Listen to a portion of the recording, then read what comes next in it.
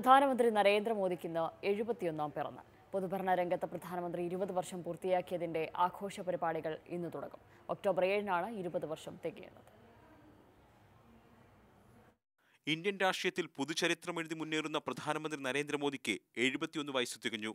ആയിരത്തി തൊള്ളായിരത്തി അൻപത് സെപ്റ്റംബർ പതിനേഴിന് ഗുജറാത്തിലെ വടനഗറിൽ ദാമോദർദാസ് മൂൽചന്ദ് മോദിയുടെയും ഹീരാബൻ മോദിയുടെയും മൂന്നാമത്തെ കുട്ടിയായി ജനനം. ആർ എസ് എസിലൂടെ പൊതുപ്രവർത്തനം ആരംഭിച്ച മോദി രണ്ടായിരത്തി ഒന്നിൽ ബി ജെ പി ദേശീയ സംഘടനാ ജനറൽ സെക്രട്ടറി സ്ഥാനത്ത് നിന്നാണ് ഗുജറാത്ത് മുഖ്യമന്ത്രി പദത്തിലെത്തിയത്. അതിനുശേഷം രണ്ടായിരത്തി പതിനാലിൽ ഇന്ത്യൻ പ്രധാനമന്ത്രി. സ്വാതന്ത്ര്യലബ്ധിക്ക് ശേഷം ജനിച്ച ആദ്യ ഇന്ത്യൻ പ്രധാനമന്ത്രിയായി നരേന്ദ്ര ദാമോദർ ദാസ് മോദി. ഏറ്റവും കൂടുതൽ കാലം അധികാരത്തിലിരുന്ന ആദ്യ കോൺഗ്രസ് ഇതര പ്രധാനമന്ത്രി. ഭരണ തുടർച്ച നേടിയ ആദ്യ കോൺഗ്രസ് ഇതര സർക്കാർ. എഴുപത്തൊന്നാം വയസ്സിലും ഇന്ത്യൻ രാഷ്ട്രീയത്തിൽ പുതുചരിത്രങ്ങൾ തീർക്കുകയാണ് നരേന്ദ്രമോദി ഗുജറാത്ത് മുഖ്യമന്ത്രിയായത് മുതൽ തുടർച്ചയായി ഇരുപത് വർഷം പൊതുഭരണ രംഗത്ത് തുറന്നതിന്റെ ആഘോഷവും എഴുപത്തൊന്നാം പിറന്നാളിന്റെ പ്രത്യേകതയാണ്. ഇന്നു മുതൽ ഇരുപത് വർഷം തികയുന്ന ഒക്ടോബർ ഏഴ് വരെ നീണ്ടു നിൽക്കുന്ന പരിപാടികളാണ് ബി ജെ പിയും കേന്ദ്ര സർക്കാരും ആസൂത്രണം ചെയ്തിരിക്കുന്നത്. നരേന്ദ്രമോദിക്ക് നന്ദി പറയുന്ന അഞ്ചു കോടി പോസ്റ്റ് കാർഡുകൾ ബി ജെ പി പ്രവർത്തകർ അയക്കും.